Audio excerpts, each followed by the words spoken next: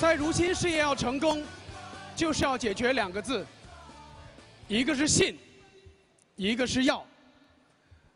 相信公司，相信产品，相信奖金制度，最重要的是相信你自己，相信你自己可以在这个事业成功，成就你的梦想。但是让一个人真正的相信很难，更难的是在做如新的整个过程中始终保持相信。今天这么大的场面，每个人在这个地方都很激动，都相信。但是这个场面两年才一次哎。当你离开这个会场一回去，你身边的朋友，甚至你最亲近的人，就告诉你，你被洗脑了，这是骗人的。这个时候你还信吗？当你拿着产品回去，用到你的脸上，哎，发现怎么在我的脸上的效果没有别人好，甚至还有长了两颗痘痘，这个时候你还信吗？当你。不断在努力，业绩还可以，但突然发现三个月、六个月、一年都没有人相信你来跟你合作，看着别人却在不断的成长，这个时候你还信吗？当你有一段时间很低迷，朋友约了不来，来了不买，买了不做，做了不久，买的又说不好用，好了说好用的。又通又贪点小便宜，非要去通过一些不正当的渠道买一些乱七八糟的货，这个时候你还信吗？好了，终于你很努力的做出一些成绩，但突然发现，你的伙伴有的离开了，因为他被去利诱做一些乱七八糟的公司，回来攻击如新，甚至攻击你的团队，这个时候你还信吗？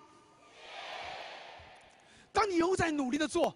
好了，终于有了一个小小的团队，你付出了好多，但这些人不知不觉一个一个离开，甚至你的上级都不做了，回来一起来泼如新的负面。这时候你真的觉得没有力量了，你觉得好辛苦。这时候接到家里的电话，却说你这几年忙什么？忙来忙去没有忙出结果，你没有照顾这个家。这时候你哭，你委屈，你没有力量，你还信吗？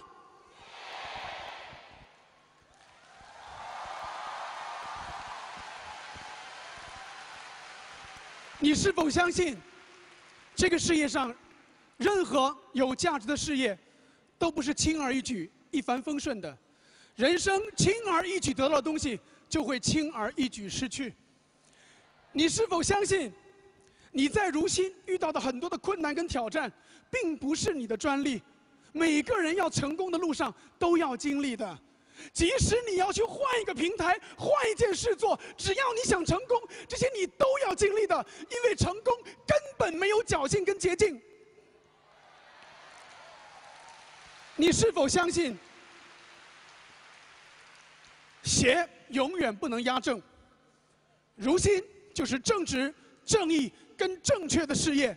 只要你的起心动念真的是为了别人好，你去持续做你认为对的事情，时间会证明一切。你是否相信，人生成败区别在哪里？